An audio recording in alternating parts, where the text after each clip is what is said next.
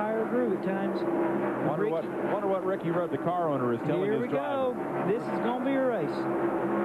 Oh, Oh, he's got him. He's got got the him. preferred line. He's underneath him. I know Ricky Rudd's heart's beating harder than that car's turning right now. I knew. Whoa. He's trying to get back underneath of him. Whoa, That's he does. Unbelievable. You know what they said about Earnhardt? It's like trying to take a tennis ball from pit roll. Well, you see why. This is a hard corner right here. Earnhardt has the bottom. Whoa, Ricky. And here comes Rusty. Man,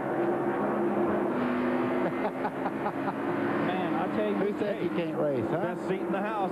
Right Look at. Ricky Rudd. He has the lead again now. He'll check up on the bottom here. Have one. Lead today from Ernie Irvan. Ricky Rudd's car looks like it's on string right now. White flag. I tell you what, them guys right now have got goosebumps all over. They're not believing this. And Ernie Irvan's car is being pushed back up pit road and out of the race. Winds off the corner, Ted Musgrave goes after Morgan Shepherd, and Mark Martin runs for Todd Bodine. Oh, he's got him. He's up under him going into turn three over here. Fourth place is the battle. Mark Martin takes it. Todd Bodine may get his first top five finish here.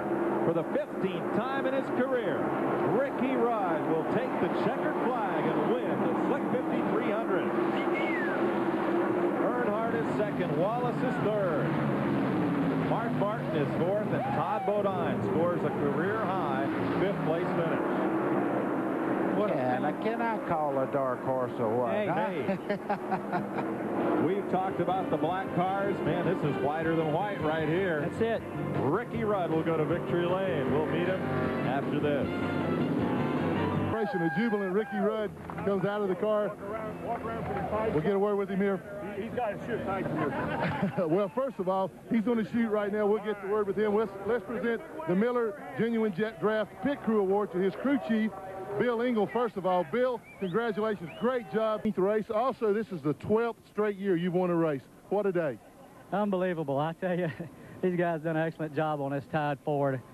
You know, we, we talk about it, but eight months ago we had uh, 26,000 square foot warehouse. They had one jack and four jack stands, and I, I don't really take much credit. These guys came on board and worked their butts off night and day to, to build this winning race car, and uh, thanks to Tide. And hello, Linda. I wish you could be here. It's the first race she's missed in years, and uh, love you. See you tonight.